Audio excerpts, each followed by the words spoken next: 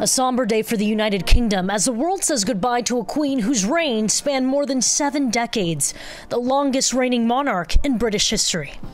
The grief of this day, felt not only by the late Queen's family, but all round the nation, the Commonwealth, and the world, arises from her abundant life and loving service, now gone from us. Westminster Abbey's tenor bell chiming once a minute for 96 minutes, marking each year of Queen Elizabeth II's life. Roughly 2,000 people attended, including world leaders like President Joe Biden, First Lady Jill Biden, and members of the royal family. Following the service, thousands of people lined the streets of London as the Queen's coffin passed Buckingham Palace for the final time. We adore her, and that's why we are here because we are part of the Commonwealth. The crowds cheering as her coffin left London.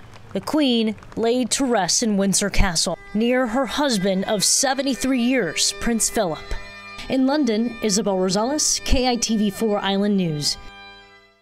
Well, new at midday, a group of people from Hawaii also paid their respects to the Queen this morning. Micah Kamohoali'i and his Designs by Kamohoali'i models are in London for London Fashion Week.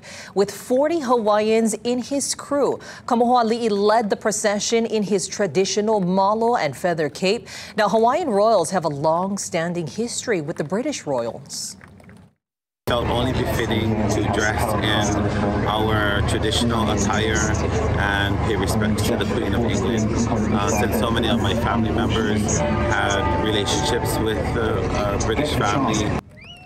Well, Queen Kapi'olani and Princess Liliuokalani attended the Jubilee of Queen Victoria, who is the great grandmother of Queen Elizabeth II.